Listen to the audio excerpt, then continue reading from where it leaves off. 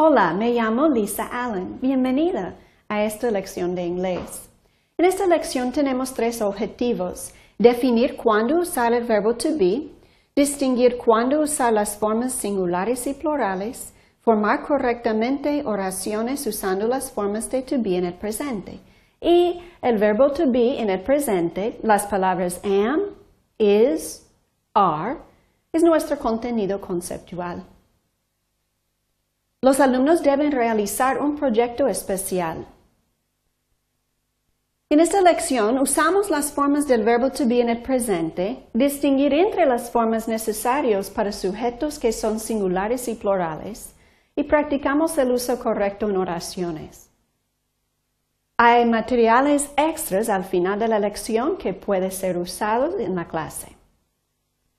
También antes de la lección puede planificar una actividad especial para los alumnos. Empezamos con la lección.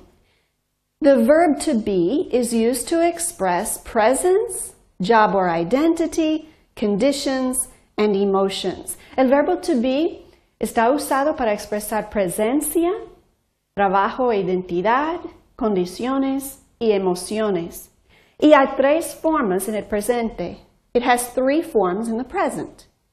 In the present, there are two singular and one plural, dos singulares y un plural. Am and is, singular.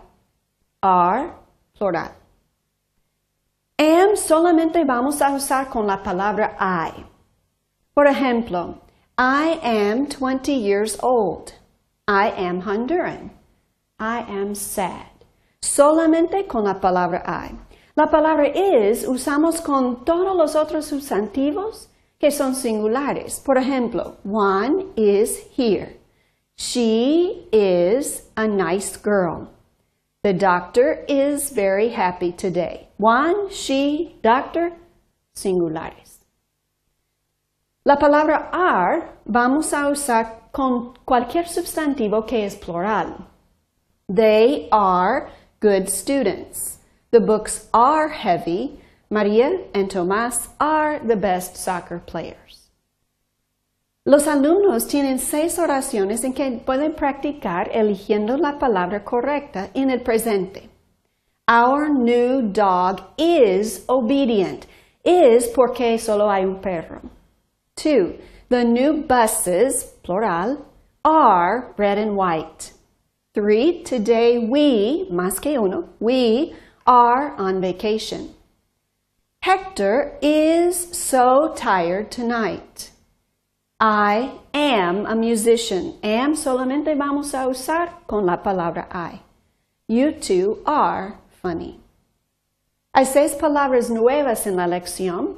Presence, heavy, funny, identity, obedient, and musician. Después de la lección, los alumnos pueden hacer un trabajo en grupos pequeños y también pueden hacer tarea en la casa.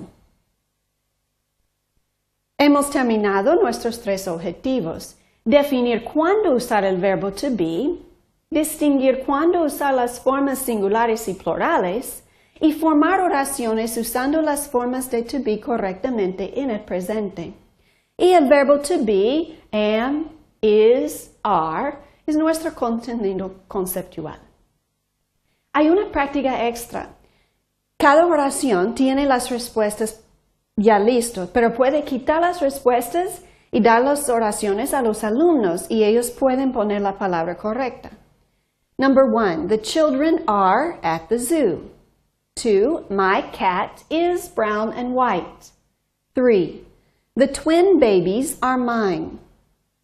Four, a new restaurant is open beside my house. Five, the balls are not good. Six, I am tall, thin, and dark. Seven, the computers are not working right now. Eight, I am working on my homework. Nine, the small boy is at the door. And ten, you are a good musician. Gracias por toda la atención.